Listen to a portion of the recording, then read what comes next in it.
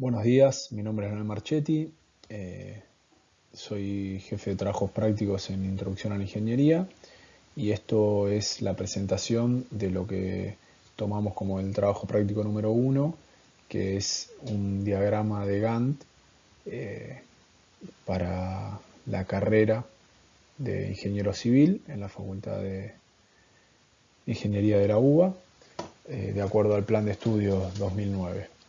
A continuación voy a tratar de explicarles cómo funciona este método. No es el objeto de esta materia que ustedes salgan siendo expertos en planificación, sino que eh, tiene que ver con ayudarlos y darles una herramienta que les va a servir para planificar de la mejor manera o la, la más adecuada a cada uno de ustedes y eh, tener una herramienta de control a medida que vayan avanzando y puedan ajustar lo que sea necesario durante los próximos años. Bueno, ¿para qué sirve el diagrama de Gantt? Es para planificar y controlar proyectos. ¿Qué puede ser un proyecto? Todo conjunto de tareas interrelacionadas para llegar a un objetivo. Eh, como ejemplo puede ser una obra, como es el caso de, los profesionales ingenieros, o en el caso de ustedes, la carrera de ingeniería civil puede ser considerado un proyecto. Es una serie consecutiva de tareas que van a llegar a un fin, que es obtener su título. El diagrama de Gantt es una herramienta gráfica. Efectivamente lo que se obtiene es un, gráfico, un esquema. Eh, ¿Para qué sirve? Para controlar y administrar bien los recursos. O sea, cuando uno los pone en una línea de tiempo y ve dónde los está desaprovechando y dónde está sobreexigiendo, puede redistribuirlos para optimizar esos recursos y evitar, entre otras cosas, periodos ociosos donde tenga recursos sin, sin utilizar o sin asignar. Entrando de lleno en el método, es muy sencillo, son cuatro pasos, es una receta, es como una receta de cocina. Hay que identificar las tareas, determinar la duración de cada una de estas, eh, establecer la interrelación entre estas tareas, cuál va primero, cuál, cuál le sigue, y eh, después hay que también eh, identificar si yo tengo retardos o, o periodos de tiempo donde no puedo accionar porque tengo que esperar que algo, que algo frague o, bueno, tengo algún, feriado o, alguna feria que no me permite accionar en ese momento. Yo siempre utilizo como, ejemplo sencillo para, seguir esto es, eh, a mí me gusta mucho el mate, cómo uno prepara el mate. Cuando dice las tareas que hay para preparar el mate, bueno, cargar la pava con agua, eh, puede estar cargar el porongo con yerba, eh, darlo vuelta y sacudirlo fino, sacarle el polvo, eh, poner la bombilla, eh, calentar el agua, bueno, son una serie de tareas. Cada una tiene un tiempo y, el diagrama de Gantt lo que busca es establecer el tiempo total y controlar que ese tiempo total de las tareas o del, proyecto este que acabo de, de crear, que es hacerme un mate, se cumpla en tiempo y forma. Entonces yo identifico cuánto tarda, eh, cuánto se tarda en cargar el agua, cuánto se tarda en calentar el agua, cuánto se tarda en, cargar, eh, en poner la bombilla en la hierba, cuánto se tarda en, cebar el primer mate y de esa manera encuentro cuánto es el tiempo total. También hay una dependencia porque no todo tiene que ser eh, consecutivo. Hay cosas que se pueden hacer en paralelo y cosas que no. Entonces ahí está el tema de las dependencias y, bueno, ahora más adelante con otro ejemplo vamos a ver eh, los periodos ociosos. Eh, lo otro que estuvimos viendo la semana pasada es la etapa de proyecto, donde desarrollamos la ingeniería, es una tarea, podría a grandes rasgos tomarse como una única tarea, una duración, lo que tarde en hacerse ese proyecto, esa documentación, la etapa de construcción, una segunda etapa, y, también con su duración y tienen una interrelación directa de que algo se hace primero y algo se hace después. Aquí vemos concretamente cómo se ve un gráfico de Gantt, cómo se ve un diagrama, donde vemos una línea de tiempo y una serie de tareas listadas en vertical, con cada uno una duración, identificada ahí las tareas que hablábamos recién de una fase de diseño de arquitectura, una fase de construcción y al final se ve una fase de terminaciones y, demás. Esta es otra aplicación donde no hay una etapa de obra, sino que es una etapa de proyecto también de, ingeniería civil, donde estamos diseñando pasos bajo nivel peatonales, no, no, vehiculares para la ciudad de Buenos Aires. Y bueno, hay una serie de tareas a realizar desde el área de proyecto, como una reunión de lanzamiento, un diseño conceptual, una reunión para toma de definiciones, un estudio de las distintas posibilidades de implantación en las líneas ferroviarias, el desarrollo de la documentación o, concretamente lo que sería un anteproyecto y eh, bueno, su cómputo, su presupuesto, eh, generar renders y videos. Cada una de esas cosas está atada de forma consecutiva a algo y tiene su duración propia la duración de todo este proyecto no es la suma de todos los eh, tiempos de todas las tareas. Algunas tareas van en paralelo y otras van de manera en serie. Entonces ahí se, aprecia cómo se alcanza un plazo de poco más de dos meses, que también no solo sirve para saber cuánto tiempo voy a tardar en, en tener este proyecto, sino a medida que va transcurriendo eh, ese plazo puedo ir controlando que no esté fuera de, planificación. Veamos ahora lo que es el camino crítico. Como hablábamos recién, existen tareas que pueden desarrollarse de manera eh, en serie o en paralelo. Si yo tengo tareas que por su interrelación y por estar en serie, al demorarse, me afectan la finalización de mi proyecto, me demoran el plazo final del proyecto, eso puede considerarse una tarea crítica. Entonces, de esa manera, identificando cuál es la cadena de tareas que, eh, más extensa, que es la que me define el tamaño total o el plazo total de mi proyecto, identifico esas tareas críticas, que son las que no pueden demorarse o no se pueden permitir eh, interrupciones, sin afectarme el plazo total de mi proyecto. Bueno, acá vemos eh, la definición, esto es más eh, para qué sirve el, camino crítico. Uno define el proyecto, hace la planeación y la programación y luego eh, hace la ejecución el control, lo que hablábamos antes, ir controlando a medida que avanza el proyecto, ver dónde estoy parado en mi línea de tiempo y qué avances registré en mis tareas. Acá vemos un ejemplo gráfico del camino crítico, más allá de que lo que tenemos arriba es un PERT, no es un Gantt, nos permite visualizar un poco más fácil esto que les hablaba yo de la cadena más larga o el camino más largo que define el camino total del proyecto. Supongamos que todas estas tareas que están identificadas acá del 1 al 13 tienen la misma duración en cuanto a tiempo, no hay tareas más largas y más cortas como, como si vemos abajo en, el Gantt, sino que todas tienen un, tiempo fijo unitario. De las 13 tareas vamos a ver que hay una cadena, la roja, que es 1, 2, 3, 4, 5, 6, 7, 8, 9, 10, 11,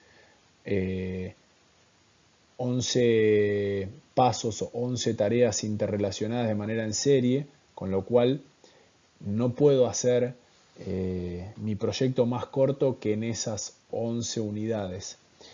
La tarea 9 o la tarea 6 podría hacerse en el tiempo que la 7 y en caso de no hacerla porque tuvo una interrupción podría hacerla al mismo tiempo que la 8.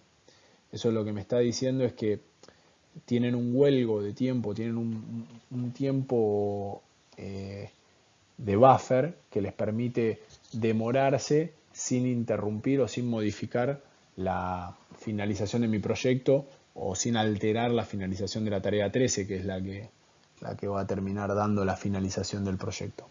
Abajo vemos que, que de la misma manera cuando las tareas tienen más o menos duración, las tareas de las barras más largas interrelacionadas se, pintan como rojo, se identifican como rojo porque son la cadena de eventos más larga que es la que define el proyecto. Las azules tendrían todavía la posibilidad de desplazarse hacia la derecha en el tiempo y no vería afectado la finalización de mi, de mi proyecto. Volviendo al proyectito que les mostraba antes de los PBN peatonales, vemos cómo el estudio de las líneas y las posibles implantaciones para estos proyectos, para estas obras, perdón, eh, por su interrelación con la finalización de la presentación, eh, todavía tienen unos días de huelgo, o sea, podría tardarme más de esos 25 días que me propuse y no voy a ver alterada la fecha del 31 de marzo que tenía estipulada. Lo mismo ocurre con el renderizado, que son unos 5 días ahí, que también tienen cierto huelgo porque no me alteran la finalización del proyecto. Ahora, si yo me, me, me demoro en el desarrollo del anteproyecto con el cómputo y presupuesto, voy a alterar la presentación de venta y eso me va a desplazar la finalización del 31 de mayo que es el que yo puse como, hito final de mi, proyecto. Para traerlo un poquito más a lo material y, la ingeniería civil y además introducir la parte de retardos que mucho no hemos hablado, eh, siempre usamos como ejemplo una viga de hormigón postesada. No quiere decir que ustedes lo tengan que saber, pero es algo muy común en las obras de ingeniería eh, la utilización de este tipo de vigas. Yo acá abajo les dejé un vínculo de un videito de YouTube. No es la mejor muestra de ingeniería que, van a ver, pero ah, muestra un poquito cómo se montan estas vigas y, para qué sirven, como para que tengan una idea, si quieren lo pueden ver antes de, de seguir con este video. Pasando a lo concreto, a la identificación de tareas, tenemos el corte y doblado de armaduras, el colocado de separadores eh, con las armaduras, la, el posicionamiento, el encofrado que va a servir de molde alrededor de las armaduras, el colocado de las vainas que es por donde pasan estos cables de postezado, el, vertido de hormigón, el, colado de hormigón, eh, va a haber un tiempo hasta transportar la viga, posicionarla en su lugar definitivo y luego tesar esos cables que están dentro de la vaina. Si hablamos de la duración, tenemos estos tiempos, créanme que estos son estándares para cada una de estas tareas en función del tamaño de la viga y, la planta donde se ejecute pueden cambiar, pero a los fines prácticos de este trabajo eh, o de esta, presentación, eh, estos están bien. Luego la interrelación o la dependencia entre las tareas yo no puedo colocar las vainas dentro del encofrado si primero no armé, eh, no hice el posicionamiento de armaduras. Lo mismo que no voy a poder hacer el posicionamiento de armaduras si previamente no las corté y las doblé para darle forma. Entonces, bueno, estas flechas nos están indicando la interrelación o la dependencia de cada una de las tareas. Eh, está claro que no voy a poder transportar la viga hasta no haberla hormigonado. Lo mismo eh, para cada una de las tareas y su interrelación directa con, las anteriores, las predecesoras. Acá llegamos al tema de los retardos que antes les mencionaba. Yo puedo colar el hormigón, pero el hormigón tarda un tiempo en fraguar, lo que se llama eh, lo que es el periodo de curado. Eh, yo no voy a poder, luego de haber vertido el hormigón fresco, desmoldar y llevarme la viga tengo un plazo más allá de aditivos, acelerantes y demás que voy a necesitar para curar ese hormigón y que, eh, por decirlo de alguna manera sencilla, se endurezca y tenga la resistencia eh, necesaria para ser puesto en obra, que bueno, en el orden de los 14 días yo podría empezar a trasladar la viga y eh, a los 28 días de hormigonado obtendría una resistencia del material tal que lo podría tesar eh, y empezar a, a, utilizarlo de manera efectiva. Si lo colocamos en un diagrama de Gantt, vamos a ver algo como esto, donde todas esas tareas pequeñas que veíamos recién empiezan a perder dimensión en lo que es el tiempo de espera para el traslado y el tesado de los cables. O sea, voy a tener todas esas tareas que enumeré recién muy chiquitas acá adelante de un día o dos para luego esperar 28 días hasta tener la viga posicionada.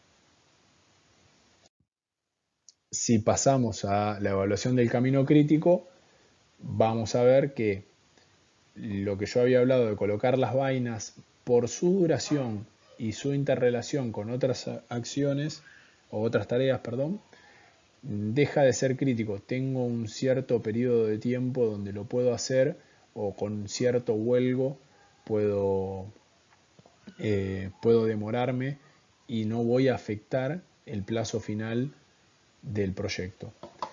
El transporte de las vigas, ahora lo vamos a ver en, un diagrama de Gantt y vamos a, observar que también tiene un, un huelgo tal que nos permite eh, que nos permite no ser críticos, que, la, saca del camino crítico a esa tarea. A esto me refería. Eh, las tareas identificadas en rojo son aquellas que están eh, dentro del camino crítico y las tareas que están marcadas en azul, como acá les comentaba, el traslado de las vigas y el posicionamiento, al tener esos 14 días y 28 días de espera para poder, para poder tesar los cables, si yo en vez de realizarlo este lunes o martes como figura acá en, esta, en este espacio de tiempo, lo hago por acá, no voy a tener eh, ninguna alteración o no voy a haber afectado la finalización de mi, de mi proyecto. Yo voy a terminar tesando este lunes 25 de mayo.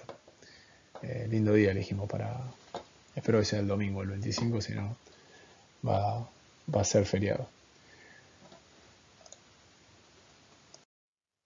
Bueno, ¿qué es lo que tienen que hacer ustedes como trabajo práctico? Su proyecto es recibirse de ingenieros y lo que nosotros le vamos a pedir, más allá de lo que es el plan de estudios y plasmarlo en, en un diagrama de Gantt para que lo puedan llevar adelante y controlarlo, es un poco un análisis de sensibilidad. Eh, le vamos a dar tres hipótesis de entrada, que una es, justamente esto, de, hacerlo de acuerdo a lo que está eh, propuesto por la facultad, y luego hacer un análisis de qué pasaría si yo intentara hacer la carrera de, de forma más abreviada, o sea, si yo tuviera más disponibilidad de tiempo y, capacidad y quisiera hacer todas las materias lo antes que pueda de acuerdo al plan de estudios. De acuerdo al plan de estudios, no, de acuerdo a, las normas que me pone la facultad. que son las normas? Las correlativas. Entonces, eh, ver cuánto se acorta la carrera si yo quisiera traer todas las materias lo antes que pueda.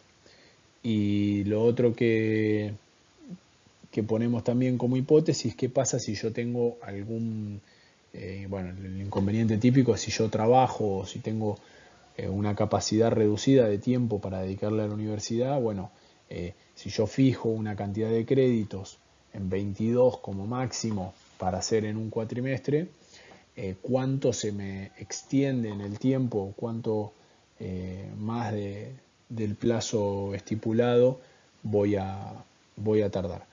Esas son las, tres programaciones que nosotros le vamos a pedir como trabajo práctico. Eh, van a estar todos los demás términos en el campus. Eh, nada, espero que haya sido claro. Y si no, tenemos la, la clase de consulta o la, charlita a través del Google Meet que, acostumbramos tener eh, los jueves a la tarde para despejar cualquier consulta. Espero les haya sido de su agrado y nos estamos viendo. Un saludo, mucha suerte.